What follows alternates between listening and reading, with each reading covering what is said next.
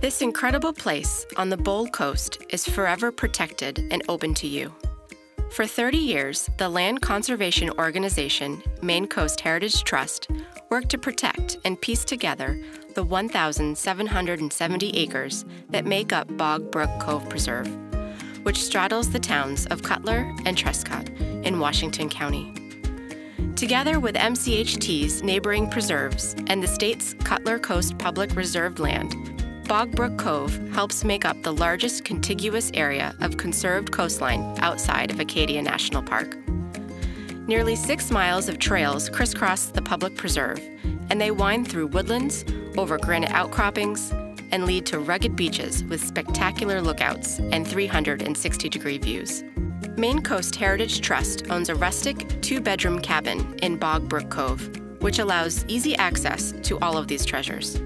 You can enter for a chance to win a two night stay at the cabin in the summer of 2021. Visit the link below for details. We'll pick the winner at random in December 2020.